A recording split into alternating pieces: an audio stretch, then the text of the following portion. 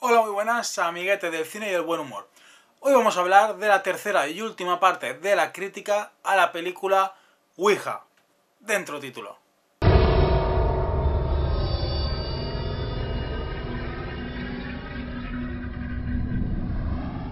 En el episodio anterior nos quedamos cuando los amiguitos de la muerta, ¿vale? Reciben mensajes, ¿vale? Entonces dicen, coño, será nuestra amiga la muerta, ¿vale? Y deciden pues jugar a la, a Ouija otra vez. ¿Vale? Pues antes de verlo jugar, vamos a meter los numeritos estos que a mí me, me gustan tanto. Dentro numeritos. ¿Veis qué fácil es hacerme feliz? Si es que yo soy un tío de gustos sencillos. A mí me dan numeritos y mamadas y el más feliz del mundo, tú. El más feliz del mundo. Bueno, vamos al medio del asunto. Se vuelven a juntar todos y se ponen a jugar. ¿Estás aquí?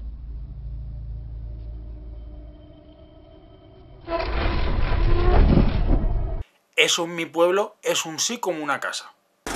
El novio de la muerta sospecha, ¿vale? Sospecha. Entonces le hace la envolvente. O, o la 13-14, como queréis llamarla. Entonces al espíritu no le queda más que confesar.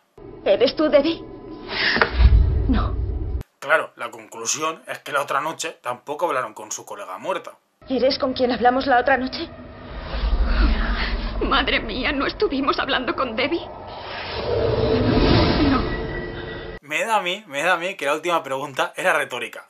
Con lo cual, mi conclusión es, si está claro que era retórica, el fantasma es o un niño o un subnormal. Y conociendo estas pelis, ¿por qué quieres que te diga? Está el 50-50. Vamos a descubrir cuál de las dos cosas es. Yo no veo nada. Chicos, debemos irnos de aquí. ¿Veis? Una puta niña. Si es que estaba claro que tenía que ser una de las dos cosas.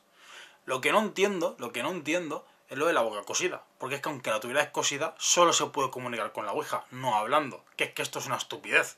Que es una estupidez. Entonces la niña les deja un mensaje. ¿Correr?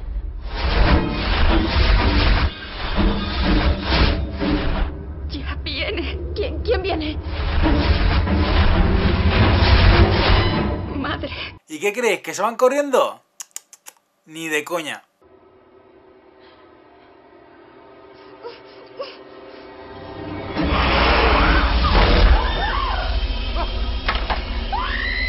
Claro que sí. En vez de irse corriendo, se ponen a mirar.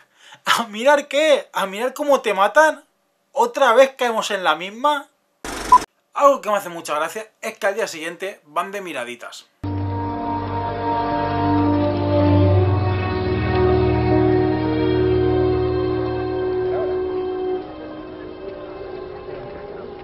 No solo una vez, ¿eh? Dos.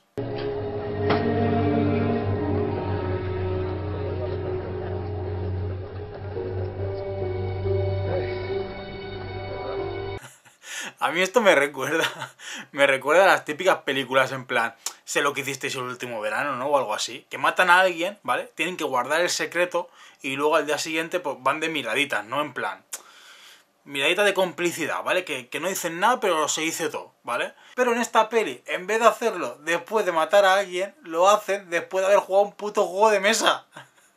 Es que es ridículo, es ridículo. Como es normal, los chavales la tienen que ir palmando. ¿Y quién es la siguiente en morir?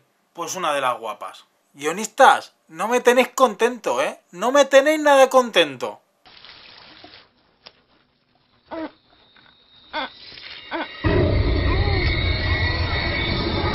Exactamente lo que habéis visto, es que se está pasando el hilo dental y sin venir a cuento tiene la boca cosida. Pero es que ahí no termina la cosa, que sigue.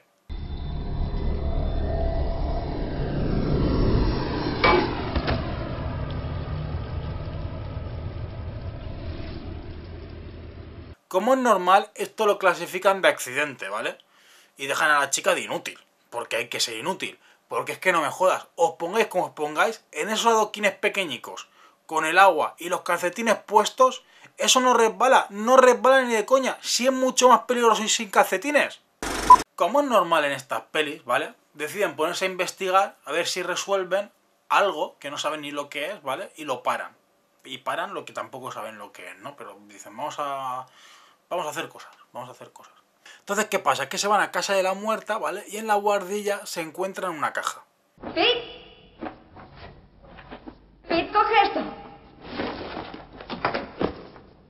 Interesa mucho. Eso dijo ella. En la caja encuentra unas fotos de la anterior familia que vivía en esa casa. Estas fotos parecen hechas a finales de los 40 o principios de los 50. ¿Pero quién coño es este chaval, tío? ¿El nieto de Kodak o qué? O sea, eh, eh, estas fotos son de finales de los 40 principios de los 50. ¿Y cómo sabes que no son del 44 o del 56? Listo, que eres un listo. Y lo más importante, ¿qué coño hace la caja esa en la guardilla? ¿Que la familia de la muerta no limpiaba o qué? A través de las fotos y de la ayuda de internet, ¿vale? Porque siempre hay ayuda de internet, pues descubren quién es la niña de la boca cosida y quién es su puta madre. O sea, o sea, que de verdad, quién es su madre. Y descubren que la niña de la boca cosida, pues tiene una, una hermana eh, que está encerrada en un puto manicomio. O sea, que está más loca que una puta cabra. Y la protagonista, pues decide ir a verla. Se están fortaleciendo. Los puntos de conexión, en tu caso, son el cuerpo y la tabla. El enlace está entre ambas cosas. La energía está aumentando. Y detenerla será difícil. Aparte de meterle mucho miedo, como hemos visto, también le dice que ella está ahí encerrada por matar a su madre, ¿vale? Porque, porque era una zorra, ¿no? O, como diría Luis Cigues, porque era muy mala. Entonces le cuenta que su hermana, la de la, la, de la boca cosida, eh, está en una habitación secreta que hay en una pared del sótano o alguna mierda así, y que si le descose la boca, ¿vale? Pues todo terminará. O sea, que a priori, a priori parece fácil. Entonces se juntan los colegas que quedan vivos, que son cuatro, ¿vale? Ahora quedan vivos cuatro, y nada más bajar al sótano, uno abre la boca para decir una gilipollez. Es una locura, Lane. Vámonos, no deberíamos estar aquí. Y os preguntaréis, ¿por qué te parece una gilipollez? Muy fácil. Yo me imagino que estos chavales estarían en, el instituto o en la universidad, ¿no? Donde vayan. Y, luego se han ido a su casa y estando en casa, pues han puesto a whatsappearse, ¿no? Por ejemplo, mismo. Eh, esta tarde vamos a, vamos a casa de la muerta, ¿no? Y, esta tarde vamos a casa de la muerta. Ah, vale, tío, ¿a qué hora? A las ocho y media. No, a las ocho y media no puedo, que... No sé, que me la toque cascar, a las nueve mejor. Porque mientras que me ducho y todo, ¿no? Porque no voy a ir todo guarro. Vale, vale, pues a las 9, quedamos a las 9 tal, ¿vale? Entonces, pues yo que sé, igual a las 5, ¿no? Hacen sus cosas, ¿no? Pues se duchan, pues se fuman un porro, se la cascan, eh, se cambian, ¿vale? Se van tranquilitos a, la casa de la muerta, ¿vale? Se reúnen allí, estamos todos, no, falta Paco. Ah, mira, viene por allí Paco.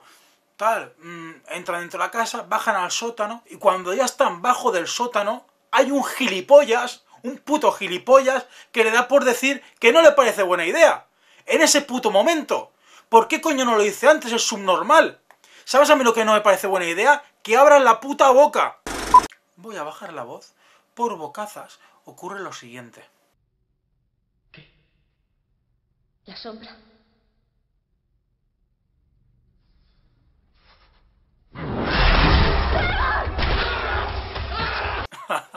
¿Lo habéis visto? Le ha pegado una paliza a la puta sombra de Peter Pan. Por gilipollas. Bueno, la cuestión es que después de varios rifirrafes consiguen cortar eh, los hilos de la boca de la niña.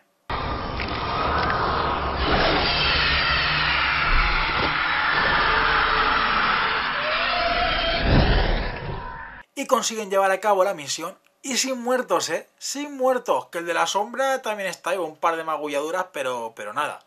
Entonces, ¿qué hacen? Pues dicen, ah, pues ya hemos terminado, nos vamos a casa a rascarnos los cojoncillos. Pero aquí no termina la cosa porque se ve que se han equivocado, ¿eh? Digo yo, digo yo, porque la palma otro colega, así que digo yo que no habrá terminado la cosa. Entonces quedan tres y la, la protagonista pues va a pedirle explicaciones a, a la vieja loca. Hice todo lo que me dijo. Encontramos el cadáver, corté las costuras y madre desapareció, pero no funcionó. ¿Por qué no funcionó? Llámame loco, pero digo yo, ¿vale? Digo yo que si no te ha funcionado, igual es porque has ido a pedirle consejo a la puta loca del manicomio. Del manicomio. La vieja del kiosco, no, la del manicomio. Es que no tiene sentido. Que te ha hecho la envolvente seguro. Está libre. Me mintió.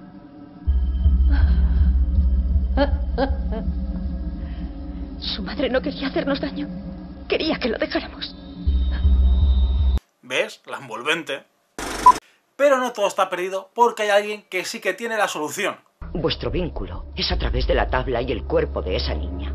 El espíritu vive a través de ambas cosas, así que debéis destruirlas. ¿Destruir el cuerpo? Y la tabla. Y debéis daros prisa. Exacto, la inmigrante ilegal que le limpia la casa, ¿vale? Tiene la solución. Se ve que es experta en espíritus. Y ya sé lo que estáis pensando. ¿Cómo sabes que es inmigrante ilegal si en la peli no han dicho nada? ¿Es listo? Pues bueno, pues lo deduzco porque eso es Estados Unidos y allí eso es tradición.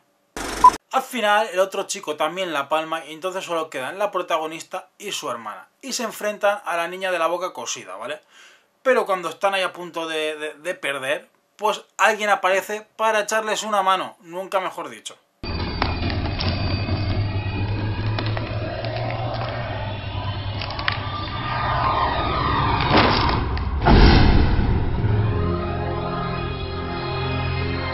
¿Qué digo yo? La puta niña esta toca pelotas, matando a Peña, matando a colegas ahí toda la peli. Y la rubia parece ahora ayudar. ¿Ahora? Pues me dirá lo que quiera, pero no será tan amiga, ¿eh? No será tan amiga. Al final consiguen derrotar a la niña toca pelotas. ¿Y qué pensáis que hace la prota?